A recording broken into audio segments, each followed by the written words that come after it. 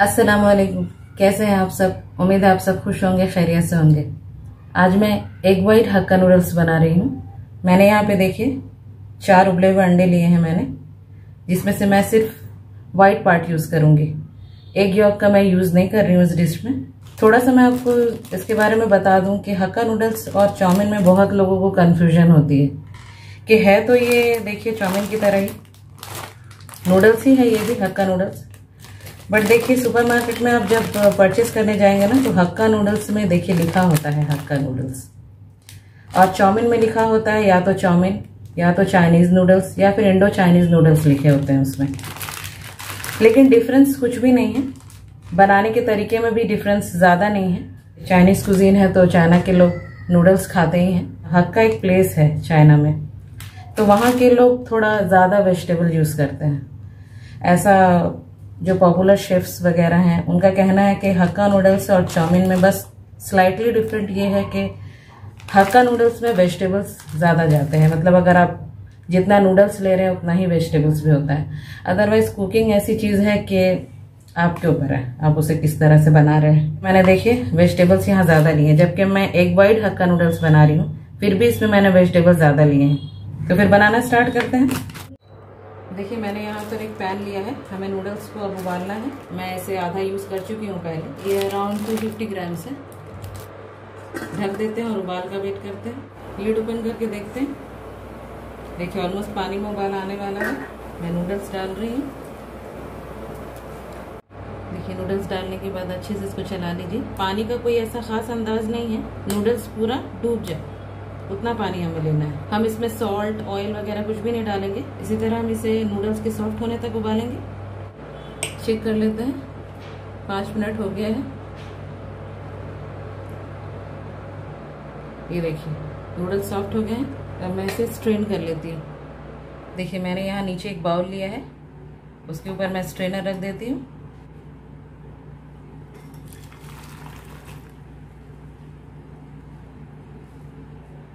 मैंने नूडल्स बनाने के लिए यहाँ एक बड़ा सा पैन ले लिया है नॉन स्टिक पैन मैं इसमें डाल रही हूँ कुकिंग ऑयल रिफाइंड ऑयल है ये. करीब मैंने चार टेबल स्पून ऑयल डाला है. तेल हमारा गर्म हो गया है. मैं सबसे पहले इसमें एग वाइट्स डाल रही हूँ. मैंने एग वाइट्स को इस तरह से कट किया है.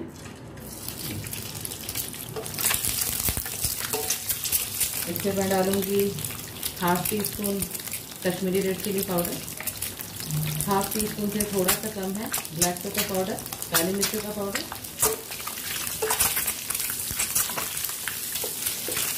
अच्छे से चला लेंगे।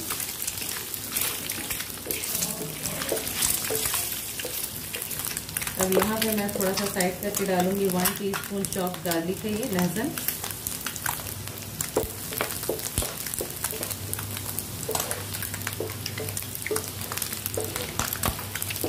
साथ साथ एक वाइट भी फ्राई होंगे। लहसुन भी फ्राई होगी हमारे। अब मैंने यहाँ लिया है शिमला मिर्च ग्रीन और हरी वाली। ये मैं वन हैंडफुल डालूँगी।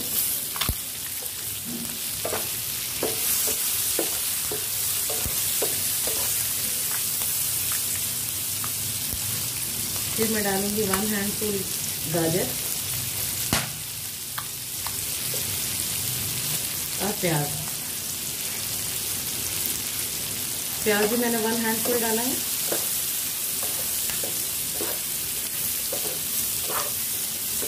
हमें फ्लेम हाई ही रखना है। फिर मैं डालूँगी वन हैंड फुल कैबेज बंद गोभी चला लेंगे इसे हमें सिर्फ़ सब्जियों में कुरकुरापन चाहिए क्रंचीनेस चाहिए। ओवर कुक नहीं करना है हमें इसे।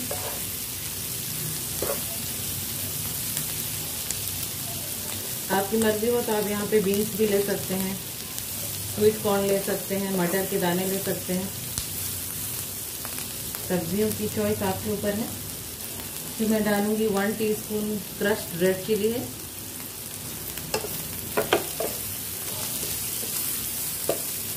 अब मैं डालूँगी इसमें नूडल्स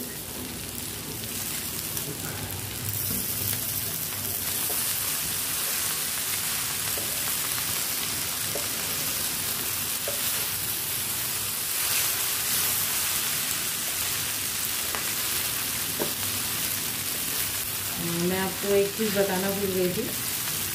नूडल्स को मैंने स्ट्रेन करने के बाद इसे पानी से वॉश किया था। और मैं डालूँगी सॉल्ट आप अपने टेस्ट के अकॉर्डिंग डालिए, क्योंकि फिर हम हम इसमें सॉसेस भी डालेंगे।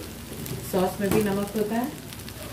अब मैं इसे सॉस की हेल्प से ही मिक्स करूँगी।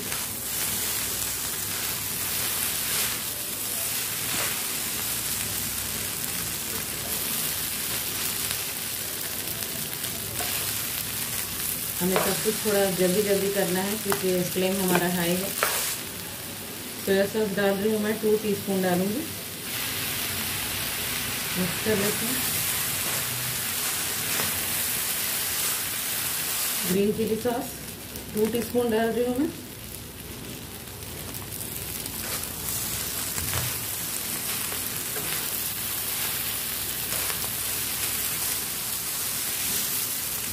अब इसमें मैं डालूँगी टोमेटो केचप ये मैं डालूँगी तीन से चार टेबल स्पून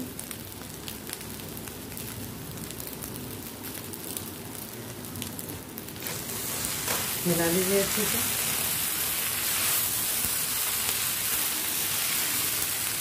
देखिए, बस इसे हमें बहुत अच्छे से मिक्स करना है। इसे हमें और ज़्यादा पकाने की ज़रूरत नहीं है। मैं हाफ़ टी स्पून से थोड़ा सा कम फिर से डाल रही हूँ काली मिर्चों का पाउडर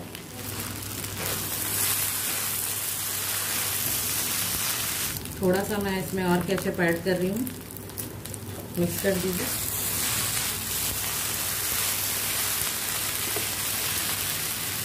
थोड़ा सा मैं नमक भी ऐड कर रही हूँ। मुझे नमक थोड़ा सा कम लग रहा है। मिक्स कर दीजिए।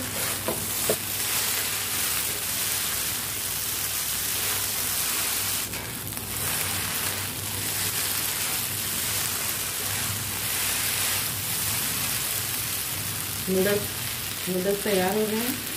मैं इसे डिश आउट कर लेती हूँ फ्लेम बंद कर देती हूँ। देखिए, हमने नूडल्स को डिश आउट कर लिया है। हमारे एग बाइट्स हमने जो अच्छे से पहले फ्राई किया था, इसलिए इस पर बहुत अच्छा सा कलर आया है और बहुत क्रिस्पी भी है। इसी तरह आप भी बनाइए और मुझे कमेंट्स में बताइए कि कैसे बने। मेरी वीडियोस अगर आपको अच्छी लगती हैं तो प्लीज़ इसे लाइक और शेयर कीजिए। मुझे आप सबके कमेंट्स पढ़ने में बहुत अच्छा लगता है। इसलिए प्लीज़ कमेंट्स किया कीजिए, ताकि मुझे भी पता चले कि मेरी रेसिपीज़ आपको अच्छी लग रही हैं या नहीं।